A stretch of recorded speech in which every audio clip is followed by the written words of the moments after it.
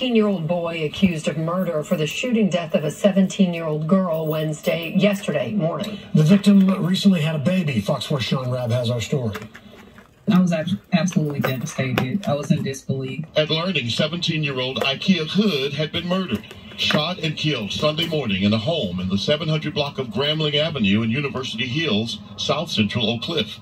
Ikea Hood was a dancer in Nairi Preston's Next Level community dance group. Ikea was uh, really like a, a dance daughter to me. Ikea started my program and dance program in 2019. Um, she was a vibrant, just a radiant smile.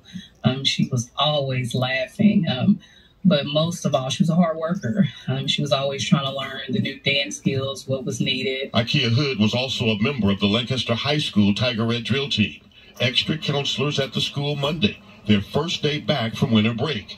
Students and staff processing what has happened.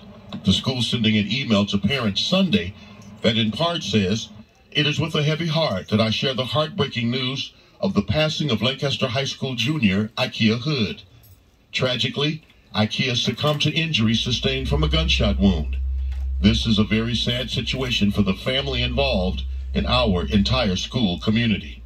Dallas police have said little about what happened on Grambling, but have issued a murder arrest warrant for Trayvon Darnell Wright, 17. Ikea Hood was the new mother of a weeks old baby. Nairi Preston was the message for Ikea Hood's peers in dance and across Lancaster High School. Let's keep Ikea's memory, baby Iceland, um, definitely in our hearts and her family. Um, just let's just stay um, connected together as a community. Shaun Rabb, Fox 4.